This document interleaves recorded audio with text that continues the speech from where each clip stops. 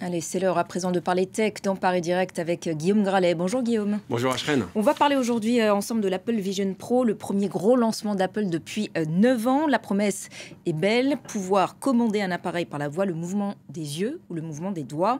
Avant d'en parler euh, en détail, vous vouliez donc rappeler que la mise au point de ces outils de réalité augmentée est un vieux rêve. Oui, en fait, je me suis retourné, j'ai retrouvé les écrits hein, d'un écrivain italien, John Basta della Porta, en fait, qui, dans, dans une de ses œuvres imagine en fait un jeu de lumière qui va éclairer les objets euh, d'une certaine façon et vous avez l'impression eh bien, que les objets bougent littéralement. Ça peut être un tout petit peu les prémices euh, de la réalité augmentée. Les prémices, on va le voir tout à l'heure avec euh, Nicolas Lelouch de Numérama qui nous a rejoint, qui va expliquer ce qu'il a ressenti avec l'Apple Vision Pro. Ne, cesse de faire rêver hein, les pros de la technologie, de, de Microsoft, hein, qui a mis au point un casque de réalité augmentée particulièrement abouti, qui a beaucoup servi, qui sert encore beaucoup à des applications euh, professionnelles aujourd'hui, qui est utilisé par des ingénieurs euh, d'Airbus euh, pour la fabrication de moteurs d'avion, des chercheurs aussi de la Case Western Reserve University dans l'Ohio pour simuler la prise en main d'objets du Moyen Âge. Et puis plus récemment, eh bien, on a vu Meta qui avait lancé ses MetaQuest, mais aussi des Ray-Ban, c'est-à-dire des lunettes qu'on va pouvoir commander commander euh, en, disant tout simplement Hey Meta. Et ces lunettes, eh bien, elles vont vous permettre euh, d'avoir euh, aussi, là aussi, des cours éducatifs assez interactifs avec des écoles de, de 35 personnes.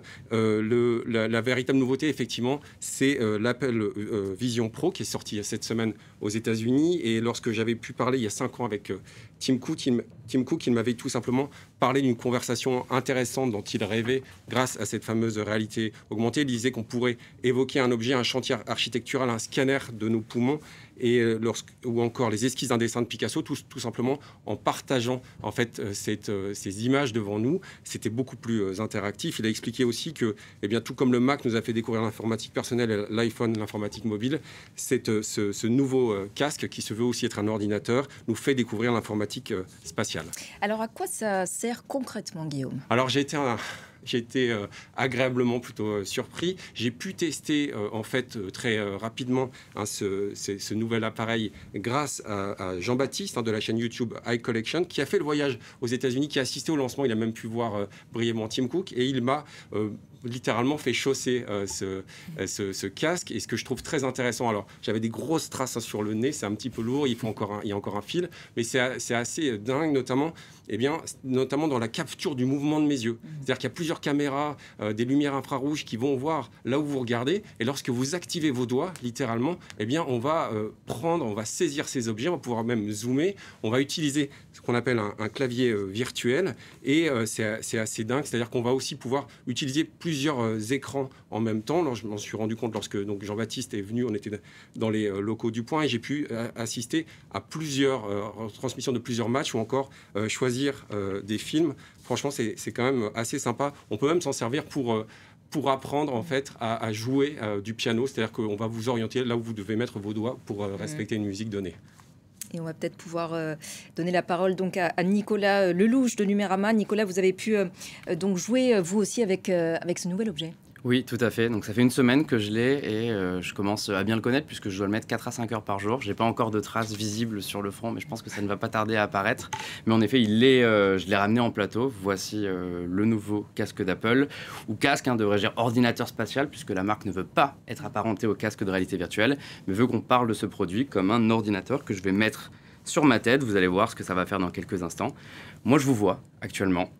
Vous n'allez pas tarder à voir mes yeux à travers cet écran et l'idée c'est que je peux continuer cette conversation avec euh, vous deux, voir le plateau, toucher le micro si je le veux. Sauf que si j'appuie sur ce bouton, j'ai une galerie d'icônes qui apparaît et je peux accéder à mes applications juste en les regardant, répondre à des messages, aller sur internet, regarder des films, etc. Et lorsque tu regardes des films, euh, Nicolas, on voit plus tes yeux. Hein. Ça c'est, euh, il y a une petite lumière qui s'affiche. Oui c'est ça. Alors là il y a peut-être une couleur qui est en train d'apparaître parce que je suis sur une application. Si normalement je me mets sur quelque chose de complètement immersif, mes yeux vont disparaître. L'idée en fait avec ce produit, c'est que Apple ne veut pas vous isoler du monde. En tout cas, c'est euh, ce qu'il présente, c'est le discours marketing. On n'est pas sur un casque de réalité virtuelle qui plonge dans une réalité à 360 degrés.